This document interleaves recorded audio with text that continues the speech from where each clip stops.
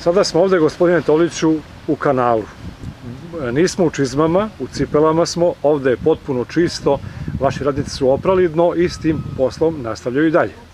Da, upravo je namera da to bude ovako lepo, da se ne ulazi čizmama. E, nastavljamo da tretiramo kanal na ovaj način, dakle ovo ispiranje, da celi kanal ima podlogu, taj kamen koji je, koji je dole i da to radimo na nekoliko meseci, da ne dozvolimo više ono zamuljivanje koje je bilo, evo ovde se vidi ta ivica, dakle negdje 80 cm, negdje i više.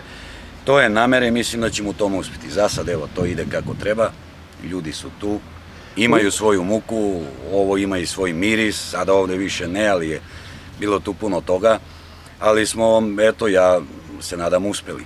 Upravo sam to hteo da kažem, u prvi mak se učinilo, a to nije baš neki veliki obim posla, međutim ovde je mulj bio preko 80 cm.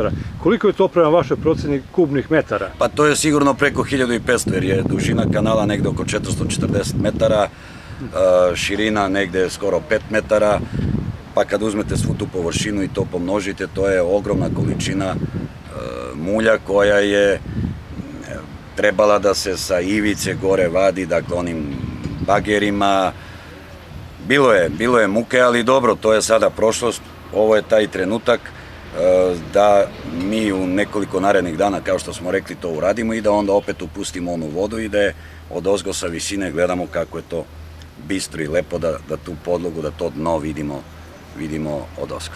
Kao to je namera i to će biti vrlo brzo.